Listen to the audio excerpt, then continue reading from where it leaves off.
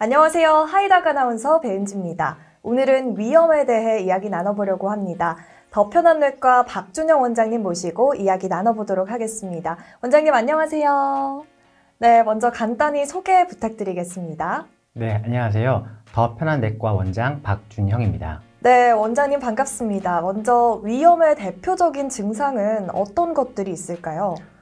급성 위험의 증상은 명치 부위의 통증, 소화불량, 복부 팽만감, 속쓰림, 식욕 부진, 구토, 구역감 등 다양하게 나타날 수 있습니다.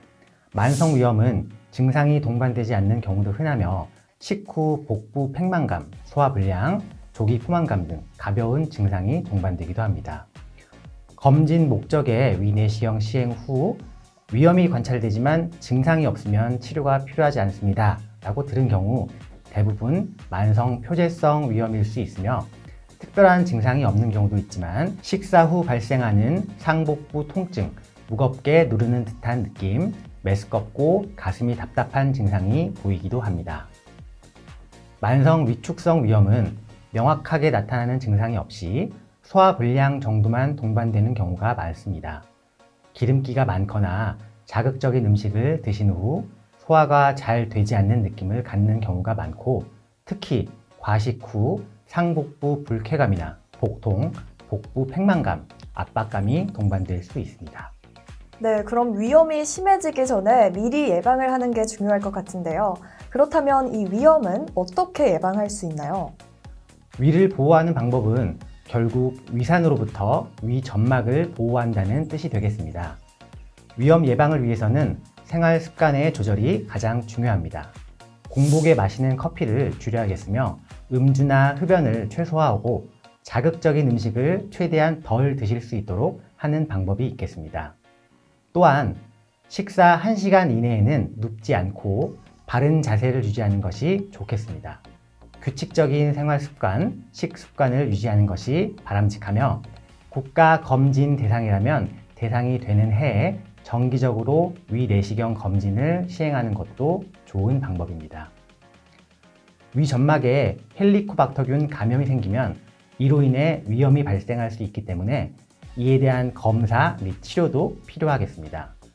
위 내시경을 통한 조직학적 검사가 가장 정확하지만 내시경 대신 요소 호기 검사를 통해서도 감염 여부를 확인할 수 있으며 헬리코박터균 감염 시에는 경구 약제 복용으로 치료하는 것이 바람직합니다. 네, 원장님 그러면 이 위험이 심해지면 위암으로까지 발전할 수가 있나요? 급성 위염이나 위궤양은 위암으로 발전하지는 않습니다.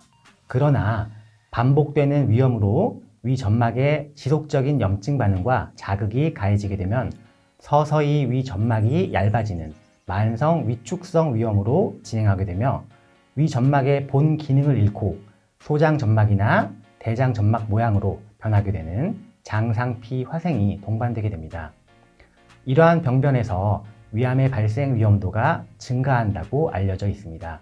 따라서 초기부터 위험을 잘 관리하는 것이 중요하겠으며 위 내시경에서 만성 위축성 위험 혹은 장상피 화생이 관찰되었다면 반드시 매년 정기적으로 위 내시경을 시행하여 위암 전 단계인 선종이나 조기 위암의 발생 여부를 정밀하게 관찰하는 것이 필요하겠습니다.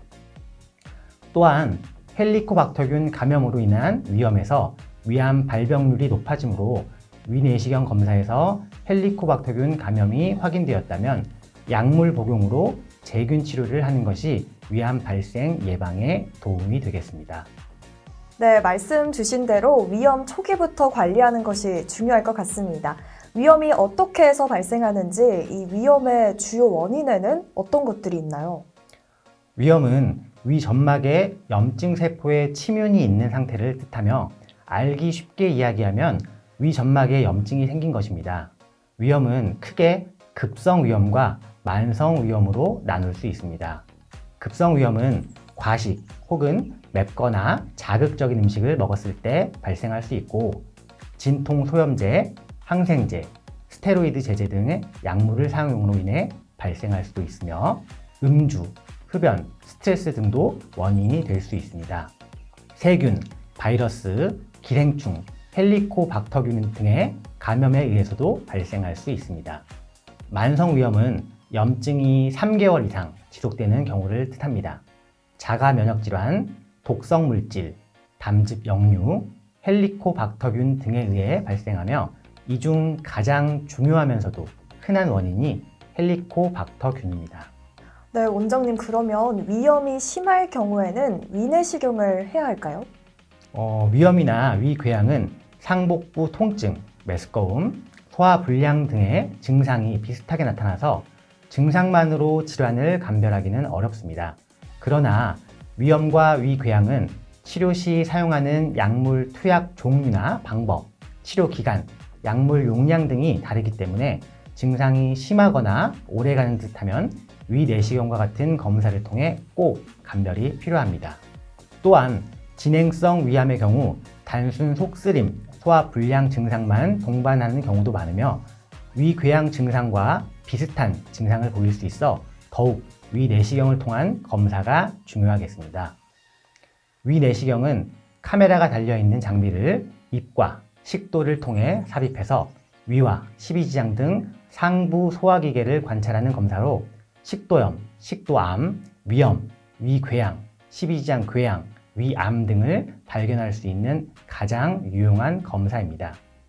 위내시경에서 육안으로 염증 부위가 확인이 되면 해당 부위에서 조직 검사를 시행하여 위염인지, 위궤양 혹은 위암인지 감별 진단하게 되며 추가로 헬리코박터균 감염 유무도 확인할 수 있습니다. 네, 오늘은 위염의 증상과 원인, 예방법, 또 위 내시경까지 알아봤는데요.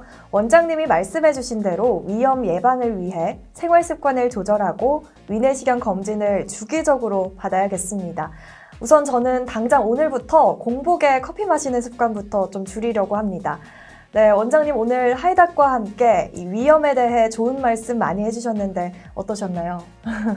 저도 오늘 하이닥과 함께해서 유익한 시간이었고 앞으로도 여러분의 건강을 책임지는 더 편한 내과가 되겠습니다. 오늘 좋은 말씀 주신 박준영 원장님 수고 많이 하셨습니다. 네, 지금까지 더 편한 내과 박준영 원장님, 하이닥 아나운서 배은지였습니다. 고맙습니다.